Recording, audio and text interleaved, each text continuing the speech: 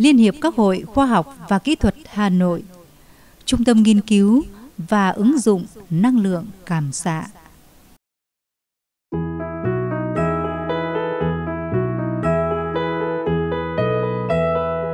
cái cái chân á, là không chất nhờn mà chích một lần á, là à, mấy năm trước là chích 6 triệu rồi mới có nay có mấy tháng là chích hết rồi cũng rồi vì tiền thuốc mà với lại tiền chích đó một lần là hai triệu rưỡi mà ba lần là 7 triệu rưỡi rồi uống thuốc nữa.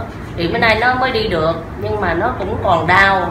Rồi thấy mở trên mạng á, thấy ờ, của thầy Dư Quang Châu á, thấy hay quá. Rồi ở nhà em nó cũng bệnh á.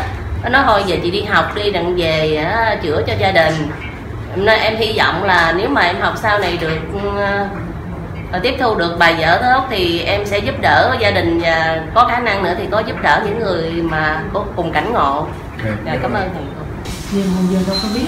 Đây. Cái bác này. Thầy ơi sao không ra Nha Trang này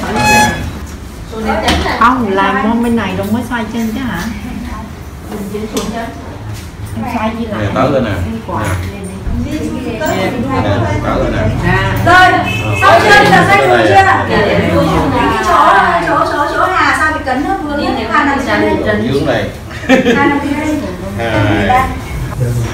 Rồi, được rồi. Kẹp vào, sau đó người bệnh nhé ngồi sát mông vào tường. Người bệnh ngồi sát mông vào tường thẳng lưng lên Sẽ lấy hai tay của mình kéo cái chân mình hết cỡ vào.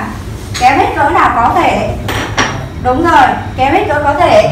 Và chúng ta lấy tay. Rồi kéo hết cỡ chưa, chúng ta kéo cái đầu gối ra ngoài. Có, có, kéo đầu gối ra ngoài Gối đi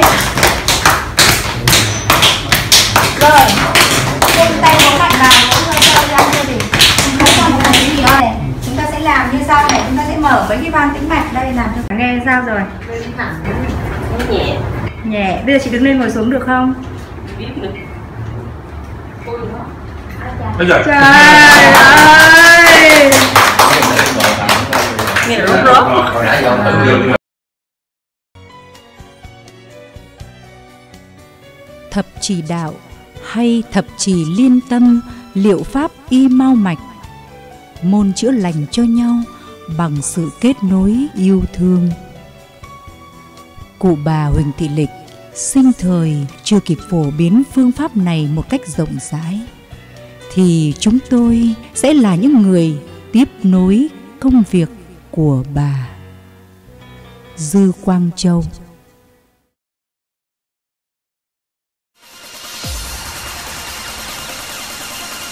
Địa chỉ liên hệ Hà Nội số 67 Bà Triệu Liên hiệp các hội khoa học và kỹ thuật Hà Nội Trung tâm năng lượng cảm xạ Điện thoại 0913 590 502 093 6550 900 Thành phố Hồ Chí Minh số 4 trên 1 trên 1 Hoàng Việt, phường 4, quận Tân Bình. Điện thoại 0983 79 2206 0918 133 635. Chi tiết trên website www.thập chí liên tâm.vn